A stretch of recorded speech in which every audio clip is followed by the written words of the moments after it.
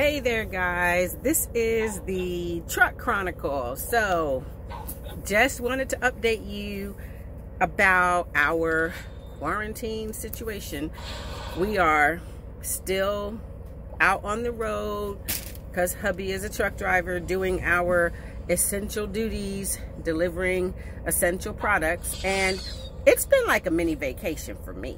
I'm loving it. I get to spend all this time with my husband because he's gone a lot. And I get to see amazing parts of the country, like just amazing. Some of it's amazing because I wouldn't have believed I would have seen some of this shit. Some of it's amazing because it's just aesthetically beautiful. Um, in the meantime, I've been keeping my eye on um, all of the virus outbreak pandemonium and have been successfully pissing a few people off with my social media comments, but it is what it is. Um, I try to be fact-based, but I am more than a smidge bit bitter about the whole thing. That being said, I'm still waiting on my country of destination to open up their borders. Our concern is whether we open up our borders today or next week or first of the month, it's still going to take about two months at least to get things grinding back to some type of mobility. Um, but I'm hoping that by June, latest July, we'll be able to pick up where we had, um, where we've been left off. Um, so that's that about the travel plan. So right now, my biggest concern is whether or not they're going to honor our existing visa if it goes beyond the 1st of July because our visas are due to expire um, the 1st of July. So if we're not physically in country by the 1st of July, then we have to get all new visas. Um, so we can actually wait till the 1st of July that day and it still be good for the duration um, of time for it expires. Um, right now, we're just kind of waiting and seeing. So that's that. Let's see. Um, there's an amazing woman. Um, not going to call her name because I haven't gotten permission from her to kind of put her out there like that. But there's an amazing woman. Oh, you see these zits? It's just terrible from the hormones. It's just terrible. Like, I don't even know. I'm about to become friends with Proactiv or something. This is terrible. Anyway, um, she's an amazing woman. Back before um, I left going to India, I was having challenges trying to locate um, my hormones, you know, the estradiol and the progesterone respectively. And we belong to some of the same TTC groups on Facebook. And she put it out there that, hey, you know, my cycle ended, yada, yada, and I've got all this extra medicine. Does anybody want it? Hello, me, this girl wants it. And so she was a godsend. She boxed it up and mailed it to me within two days. Had it not been for her mailing me that, I don't think I would have had the ability to start my cycle for this last go round because doctor wanted me to start my medications three and a half weeks before I arrived. And you know, in the States, if you don't have the right type of insurance and your doctors aren't going to write the scripts and you don't have hundreds and hundreds of dollars to just drop into the pharmaceutical industry's pockets, it can be almost impossible to get these um, hormones. So she was a godsend by sending that to me. It really helped me a great deal. That being said, she and I stayed in contact, um, not as frequently as I would have liked initially, but subsequent of this sequestering that we're all in, um, we've become really, really fast friends and communicate pretty much every day. And so she's looking to get back in the saddle, and she and her husband are going to try yet another round for their IVF. And so we're working out a group trip her hubby's a little pensive about flying. So it took a little bit of convincing, but since we slated it as a group effort, we'll all be going together, it worked out a little bit better for him. So right now I'm helping them work on their visas and putting her in touch with the doctors and they're doing all of the necessary exchanges of information. And I'm pretty hopeful and optimistic because for as long and as challenging as this journey has been for me, like I said, it's all about the sisterhood. And I'm just grateful to be able to help someone make it a little bit easier, be a companion if necessary. Um, for someone who feels isolated. So that's big for me. And to make a really good friend out of the deal, good stuff. So let's see what else is there on the table. Um, that's about it. Just sitting around, hoping to ovulate naturally. I don't know what else I'm doing. Just nothing. Sleeping a lot, even though you can't tell by these bags, but um, they're actually getting a little lighter because I'm getting a little more sleep. Um, but I've had some horrible cramps lately, like really bad cramps. Um, I don't know. We'll see how that works out. Um, let's see what else is going on. I think baby's liking the fact that I'm in the truck with him all the time. I know I'm liking it. Um, hmm, I do miss my doggies. Got to get home and see my little fur people.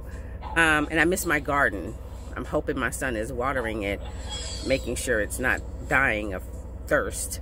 Um, and that's about it. I've decided to um, go back to vegetarian diet. Decided to go back to a clean, healthy vegetarian dietary intake. And that's partially to maintain my BMI and hopefully get a little lower.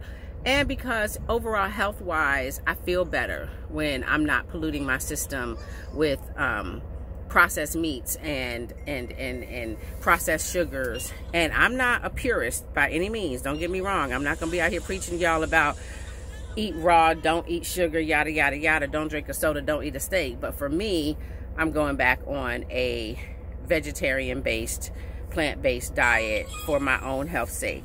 See how that works for the next 12 months. Yes 12 months. See how that works. Um what else Mm, I think that's it. Nothing really major going on. Just waiting for the world to open back up from its maintenance process that it's going through. Um, Easter was pretty unremarkable. We were home. We hung out. I didn't make anything too spectacularly different, but we were there. We were together. It was quiet. It was relaxing. It's what we needed. I hope you guys' Easter was just as nice and just as, as full of love because that's what it's all about. Let's see. My birthday came and went. Same day as my anniversary, it came and went. And that was pretty cool um, with my baby. And then hubby bought me patio furniture. Yay me! all sorts of patio furniture um, and fire pit and a bench for my garden. So he just like absolutely spoiled me to death. I, I'm still grinning. Sad part is we had one night to sit on it. The first night we got it together, we sat outside, enjoyed ourselves, and then the next day the temperature dropped to like, what the hell is going on? Like it's fall and winter outside again. We couldn't even sit outside. Then it started raining. Like, it was terrible.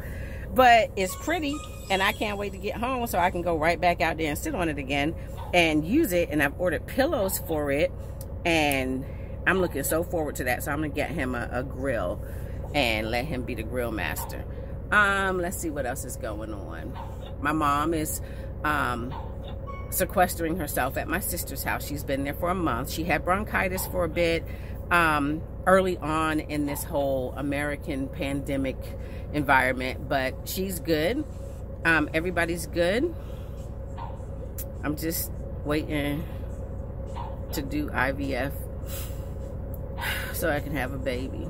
Is anybody else already picking out baby stuff? Like I am all for picking out my diaper service already. I got my cloth diaper service lined up.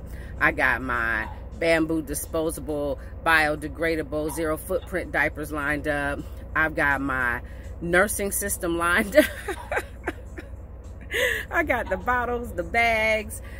I got everything lined up except the cribs, the strollers, and the high chair. Got it all lined up. I even know what kind of stroller I want, but I'm just gonna wait. But is anybody else doing that or is it just me?